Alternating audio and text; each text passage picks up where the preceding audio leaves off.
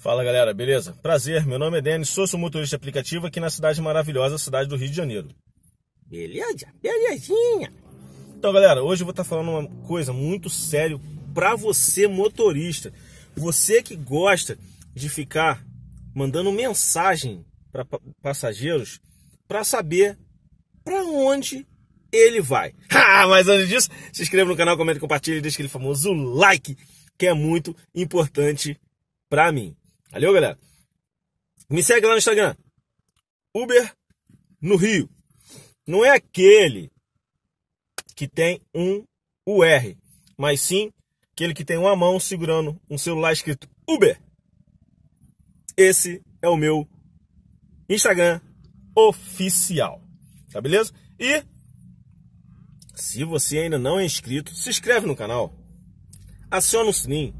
Dá aquele tapa no like e vamos pro vídeo. Então, galera, a Uber está monitorando as mensagens do chat, tá? Aquela mensagenzinha que é mandado pelo aplicativo, tanto do passageiro para o motorista, quanto do motorista para o passageiro.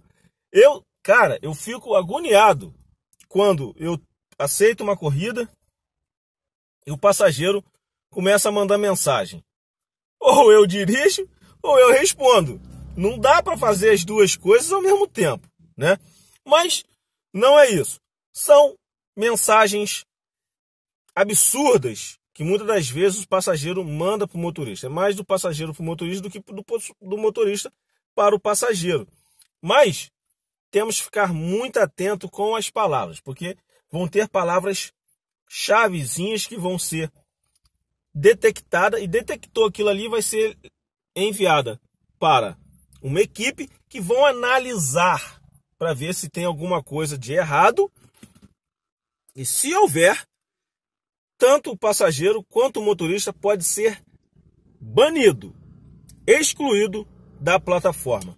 Claro que isso vai arcar, vai acontecer mais para o lado do motorista do que para o lado do passageiro. Esta sim será a maior, a ferramenta mais usada, vai ser para banir os motoristas. Mas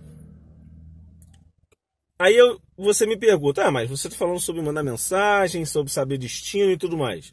Você acha que isso também não vai estar lá como uma palavra-chave?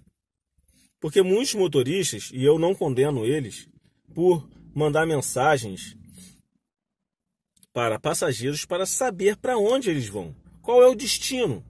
Por quê? Porque a Uber não dá o destino para o passageiro, não informa para onde o passageiro vai. Então os motoristas se sentem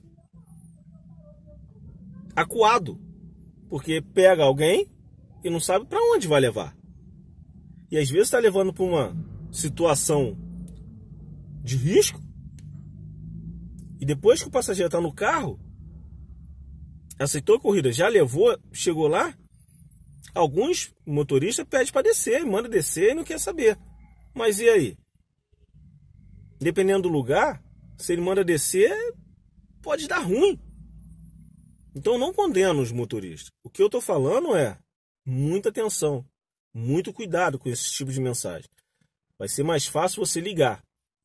Porque se você mandar mensagem e se essas mensagens estiver detectada lá como palavras-chave chaves, e, e, e ser enviada para a equipe que vai ficar lá para analisar as mensagens e a sua for detectada e eles acharem que você deve ser excluído da plataforma, eles vão excluir sem pena e sem dó.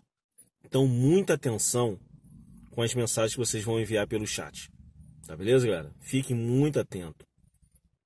Porque tem pessoas que só tem a Uber e só tem a 99 para trabalhar. E se ficar de fora, o que será desses motoristas? Então, fique atento, tá beleza? E se você ainda, o vídeo está acabando e você ainda não se inscreveu no canal, clica aí, cara. Se inscreve. Aciona o sininho dá aquele tapinha no like E não deixa de me seguir lá no Instagram também.